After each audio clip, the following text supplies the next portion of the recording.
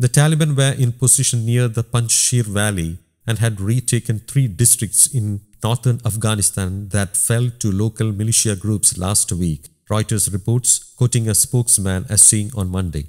However, there were no confirmed reports of further fighting. The districts of Bano, Deh Saleh, Pul e-Hesar in the northern province of Baghlan were taken by local militia groups last week in one of the first signs of armed resistance to the Taliban since their seizure of the capital Kabul on August 15th. By Monday, Taliban forces had cleared the districts and were established in Badakhshan, Takhar and Andarab near the Panjshir Valley, according to the Twitter account of spokesman Zabihullah Mujahid. Forces loyal to Ahmad Massoud, son of the late Mujahideen commander Ahmad Shah Massoud, have established themselves in his Panjshir stronghold, which resisted both the Soviets and the Taliban before 2001. Massoud, whose forces include remnants of regular army and special forces units, has called for negotiations to form an inclusive government for Afghanistan but has promised to resist if Taliban forces try to enter the valley north of Kabul. Late on Sunday, the Taliban's Alemarah information service said hundreds of fighters were heading towards Panjshir. There has been no confirmation of any fighting, but an aide to Massoud said both sides were standing ready for military action. Zabihullah Mujahid said